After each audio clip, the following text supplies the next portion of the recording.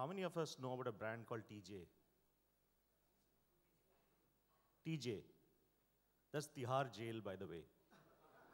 The core competency is uh, catch a bunch of convicts, put them in, rehabilitate or punish, whatever you want to do there. And in every Hindi film, you'll see them breaking stones. I don't know why they break stones, but they're supposed to be breaking stones. Which means they've got a lot of hands and legs inside Tihar jail.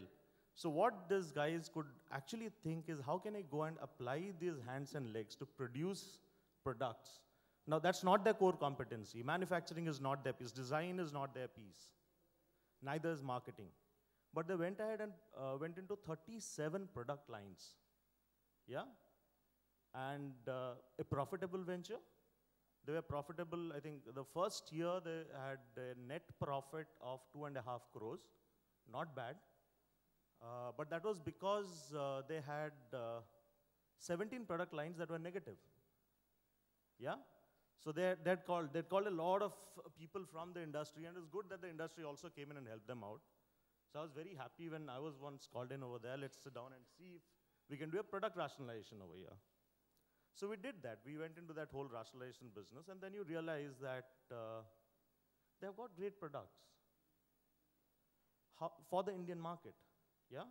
But can they beat other products in the same category, other brands, with the kind of wherewithal that they have, with the kind of monies that they have, with the kind of basic data that they have? Uh, interesting for Ajay, it'll be, uh, we have set up something for them, which is, again, as Godrej, we have set it up. So they're, they're actually predicting their marketing mix.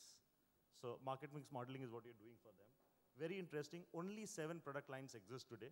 One of them competes with my brand furniture, uh, Godrej Interio. So we are into furniture, they also into furniture. But uh, interestingly, those seven product lines today contribute to somewhere around 46 crores. And completely different area. And the brand is TJ, by the way, it's called TJ. Yeah? Just to draw a line from here, uh, what is it that worked for them? Core competency for them was number of hands and legs.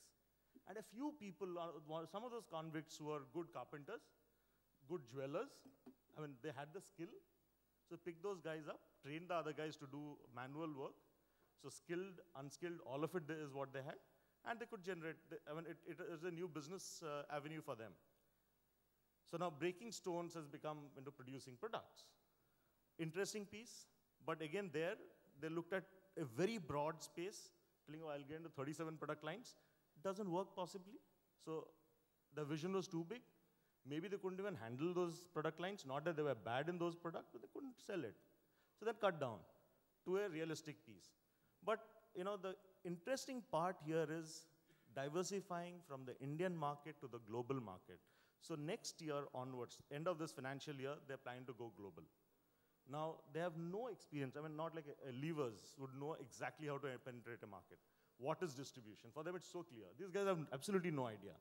So again, they believe there are certain companies who have got a presence in certain countries where through whom they can go in. So they're partnered, marketing partners.